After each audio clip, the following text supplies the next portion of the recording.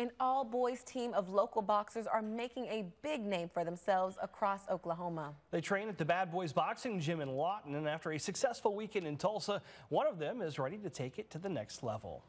Our GMC reporter Anthony Wynn caught up with the young fighters and got a feel for how hard they train. Now, Anthony, what did you learn in your time at the Bad Boys Gym? Alexis and Kyle, one of the biggest things that I learned is these boys have a big career ahead of them and a great future and a lot of success. Travis and Sammy are still teenagers, but they're hungry to make a real impact in the ring.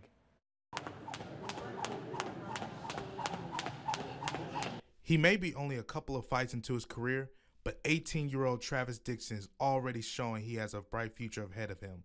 After winning his second fight in Tulsa against an older opponent, He's heading to Kansas City to compete for the Golden Gloves.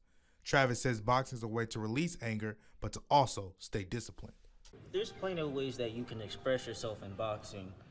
Like if you have a lot of anger and you want to release all that anger, you can hit the bag as many times as you want, but just like don't just go crazy on the bag. At least still have some discipline and control when you're hitting the bag when you're all angry and stuff. 12 year old Sammy Thomas, Travis's brother, also competed in Tulsa. The highlight of his night was watching his brother win by knockout. I was, I was, I was surprised because he, he had only been in the gym for three months in his last match, and the other guy, he had been boxing for years. So it was pretty uneven. Sammy has been training at Bad Boys Gym for two years now. Travis has been there for only five months. The coaches are pleased with how they both are working hard and recognize their potential. Coach Griffin says Travis reminds him of Sugar Ray Leonard.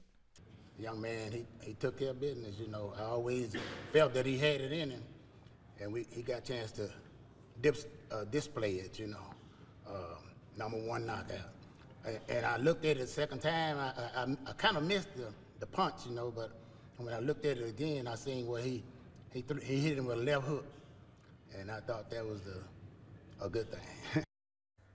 now you can watch Travis and Sammy and the other fighters in action at Grady Brewer's Winter Brawl, February 17th at the Bad Boys Boxing Gym.